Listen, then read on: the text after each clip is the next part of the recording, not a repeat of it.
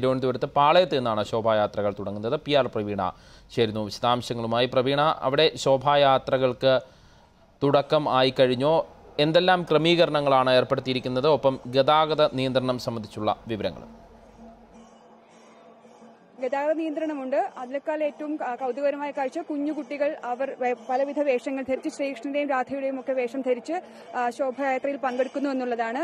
പലവിധ സ്ഥലങ്ങളിൽ നിന്ന് general hospital junction statue museum തുടങ്ങി അഞ്ചിലേറെ സ്ഥലങ്ങളിൽ നിന്നും തിരിക്കുന്ന ഈ ശോഭായാത്ര എല്ലാവരും കൂടി എത്തിച്ചേർന്നത് പാളയം ഗണപതി ക്ഷേത്രത്തിന് മുന്നിലാണ്. ഇവിടെ നിന്നും ഇത് നേരെ കിഴക്കേക്കോട്ടയിൽ ചെല്ലും. അവിടെ അവിടെ വെച്ചാണ് ഇതിന്റെ സമാപനം നടക്കുന്നത്. ഇതിന് ഉദ്ഘാടനം നിർവഹിച്ചത് കാനായി കുഞ്ഞിരാമനാണ്.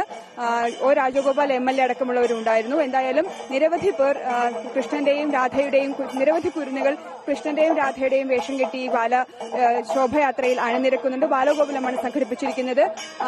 ഇതിന് അതിന്റെ കൂടെ തന്നെ കേരളീയ വേഷം ധരിച്ച സ്ത്രീകൾ മുത്തുകുടയേന്തിയ സ്ത്രീകൾ വിവിധ കലാരൂപങ്ങൾ നിശ്ചല ദൃശ്യങ്ങൾ അങ്ങനെ കണ്ണിന് കുളിമയകുന്ന കാഴ്ചകളും ഏറെയുണ്ട്. എന്തായാലും ശോഭായാത്ര തുടങ്ങിയിരിക്കുന്നു. തിരുവനന്തപുരത്തും ശോഭായാത്രകൾക്ക് തുടക്കമായിരിക്കുന്നു. പി ആർ പ്രവീണയാണ് വിവരങ്ങൾ പങ്കുവച്ചത്.